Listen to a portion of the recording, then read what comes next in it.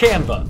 It's kind of a bit of a dirty word in the direct-to-film industry, mostly because printers get Canva designs that are super low resolution, and most users don't know how to get the proper resolution out of Canva, among some other issues. But we'll cover those in a series of videos, hopefully helping end users that like to create on Canva give the best quality design to their direct-to-film printer.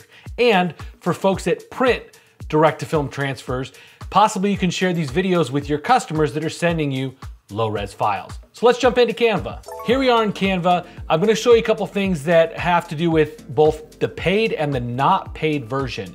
There are other features like background, transparency, stuff like that that are paid features that we'll cover in another video. But today we're just gonna talk about resolution. So I created this cute little design earlier. It's a 12 by 16 image. I've got all the stuff in there properly. I'm using the right kind of fonts and things like that. Uh, and when, after I'm done creating it, I go to share it. And when I share it as a download, you're gonna see our resolution's only 1500 by 2000. And here's the problem. Canva's default resolution is about 96 DPI. And what's best for DTF printing is 300 DPI. So it's almost three times too small to print well with DTF. So one of the first ways you can adjust that size up is using the size slider here to bring the pixels up. So in the case of something being 12 inches wide, I want it to be about 3,600 pixels wide because that's 300 times 12. But you'll notice if I go to change this slider, that's a premium option. So if you don't pay for premium Canva, here's how to get your graphics sized properly. Let's go to create a new design. We're gonna do custom size, but instead of doing inches, we're gonna do pixels. And again, because we know that 300 pixels per inch is what we want, however big your graphic is, we wanna multiply those inches by pixels.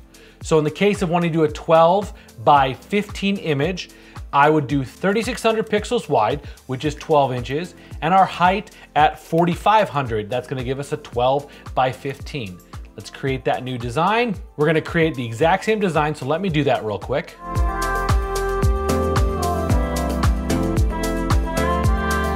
All right, we've got that same exact design we recreated, and when we go to share it, now it's gonna allow us to download it as 3600 pixels by 4500.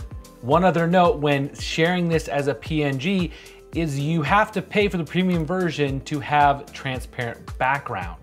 Now, if the person printing the DTF transfers has a pro version of Canva, you can share this file with them and they can download it as a transparent PNG. One other thing to note is as a DTF printer, if you get a graphic that is like this, it's likely going to come into your RIP software way too big because Canva is embedding that 96 DPI figure into their file. So you're gonna load it in, it's still gonna say low resolution, but there's actually enough pixel data there for you to shrink it down and not have any issues. Once again, there are other like hiccups here and there with like semi-transparent pixels and with background removal and stuff like that, but we'll cover those in another video. I hope this video helps you export your graphics you've made in Canva in a resolution that's gonna make your DTF printer happy. For more DTF tips, tricks, education, all sorts of stuff, make sure you subscribe to the channel and I'll see you next time. Thanks for watching.